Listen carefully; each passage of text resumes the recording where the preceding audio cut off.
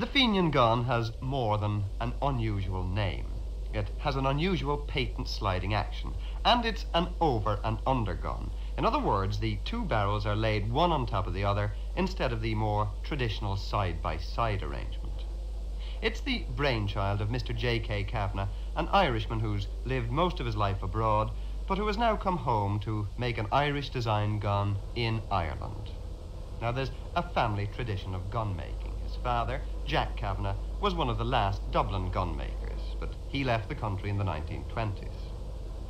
His son designed the Fenian gun four years ago and began to manufacture it in a small way in Cheltenham in Gloucestershire. Then, just over a year ago, he decided to come back to Ireland and make it here. He moved into the old workhouse in Birr, and aided by government grants, he's now in production. At peak, his firm could turn out 40 guns a week.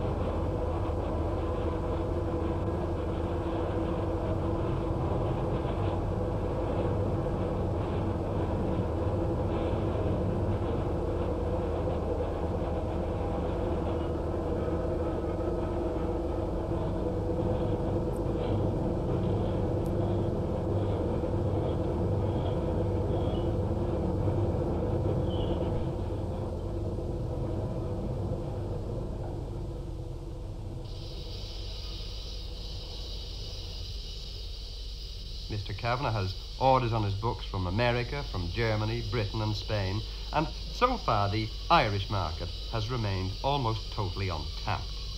There's a good reason for this, and a, simple reason why the factory is at present stockpiling its guns instead of putting them onto the market. In Ireland, we have nowhere to proof guns, and every good gun must have a proof mark on its barrel. To proof a gun is to test it, to make sure that when you do fire it, the barrel won't blow up in your face. But within the next few weeks, we will have a proof house in Dublin. It's being set up by the Institute for Industrial Research and Standards at Glasnevin. The proof house is being set up specifically to deal with the products of the Fenian Gun Company. By all accounts, it's one of the most modern proof houses in the world.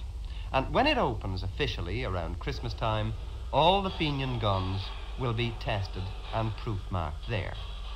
Then they can go on sale. And by any standards, this gun is an interesting weapon.